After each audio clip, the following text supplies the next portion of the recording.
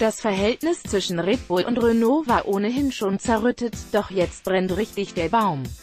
Der Ausfall von Max Verstappen beim großen Preis von Ungarn bringt Red Bull richtig auf die Palme. Ich habe keine Leistung, funkte der Niederländer, bevor er seinen Boliden bereits nach fünf Runden abstellen musste.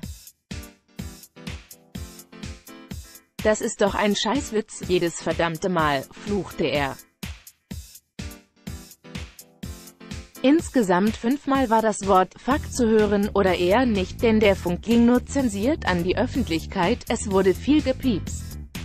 Es ist schade, dass sie es ausgepiepst haben, denn es wäre besser gewesen, wenn es erlaubt gewesen wäre, sagt Verstappen und zeigt damit ganz deutlich, wie die Stimmung zwischen Rennstall und Motorenpartner derzeit aussieht.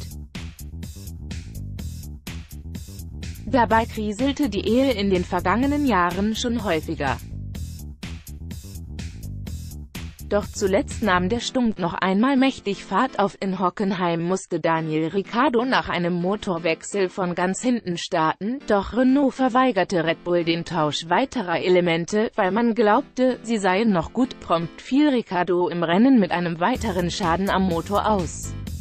Horner mit Attacke auf Abiteboy bei Red Bull war man über die Strategie Renaults alles andere als erbaut und musste nun im Rennen den nächsten Rückschlag hinnehmen.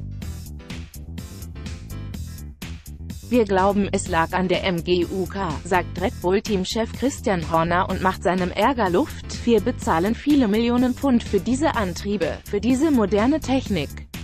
Und dann kann das einfach nicht wahr sein. Das ist frustrierend, so der Brite.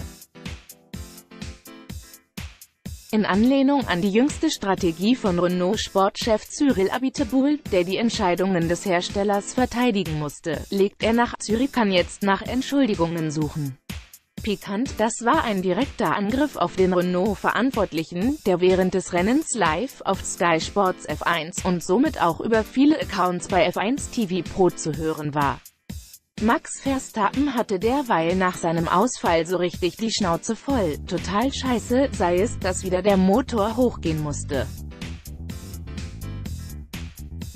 Mehrfach verwendet er das Schimpfwort im Zusammenhang mit Partner Renault und zieht über den Antrieb her. Wir sind vom Motor her viel zu langsam, es ist keine Leistung da, und die Zuverlässigkeit ist auch scheiße. So sollte es nicht sein, poltert er. Urlaub versaut. Auch mit seinem Team wollte er kurz nach dem Rennen nicht sprechen. Es ist mir egal. Am Ende winkt er wütend ab und freut sich so gar nicht auf die nun anstehende Sommerpause.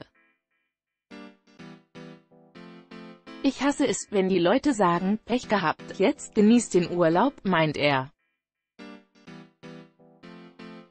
Mit Sicherheit werde ich die erste Woche aufgrund des Rennens nicht genießen können. In der Sommerpause dürfte es zwischen Red Bull und Renault einiges an Klärungsbedarf geben. Doch ganz schuldlos sieht Ex-Pilot Christian Dana den Rennstall dabei auch nicht. Da schiebt permanent seit Jahren einer dem anderen den schwarzen Peter in die Schuhe, meint er. Renault sagt, Red Bull habe es falsch gemanagt und da gebe es zu wenig Kühlung und Platz. Und sonst was alles, was verkehrt ist. Und Red Bull sagt halt einfach, der Motor hat keine Leistung.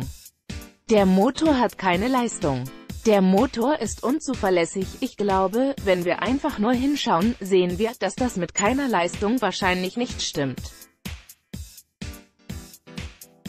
Aber so gut wie Ferrari und Mercedes sind sie halt nicht so danach weiter. Doch beide Parteien wissen zumindest, dass das Verhältnis schon in Kürze beendet sein wird, denn die Wege trennen sich nach der Saison definitiv.